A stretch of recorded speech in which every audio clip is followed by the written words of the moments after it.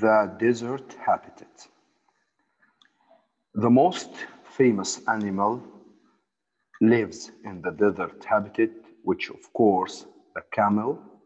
Camel lives in the desert habitat, represent an area with very hot temperature in day and very cold at night. Also, the desert habitat characterized by less water sources because the rain, the amount of rain that falls in the uh, desert habitat is so, so small. Let's talk about some adaptations in the camel.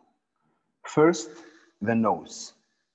The camel nose a stretchy nostril to keep out the sand. The long eyelashes to help the camel to keep the sand out of its eyes. The leathery mouth help camel to eat the spiky plants, to chew the spiky plants.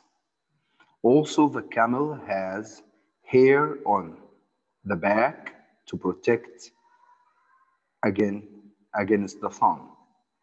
And also the camel has hump for storing food, long legs to keep the camel off the hot sand, to keep its body cool, and padded feet or wide feet to stop the camel from sinking into the sand and to protect it from the heat of the ground.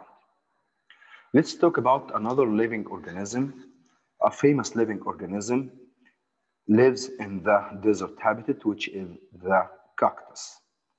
Cactus are well adapted for survival or for staying alive in the desert habitat. The adaptation in the cactus. First, cactus has long, deep roots. Its roots uh, so long to reach the water, the deeper water in the ground, in the soil. Okay. Second one, waxy skin. Its skin covered with wax, a layer of wax that prevent the water from evaporating and keep the water for a longer time. Large stem to store large amount of water. Has spines instead of leaves to decrease the water loss and stop animals from eating cactus. Protect the cactus from being eating, from being eat, uh, from being eat by another animal. Let's talk about some plants live in Egypt or exist in Egypt. The Nile lotus. Nile lotus, one of the plants that live in uh, River Nile. Nile lotus has a wide, large leaves to allow the plant to float, not to sink in the water. So the leaves of the lotus is wide to float in water easily. To be able to receive the large amount of sunlight for making food. Of course, we know plants need sunlight for making the photosynthesis process that help the plant to make its nutrients. Another, another plants live uh, around the uh, river Nile, papyrus. Papyrus has a thin, flexible stem to go with the water without being broken.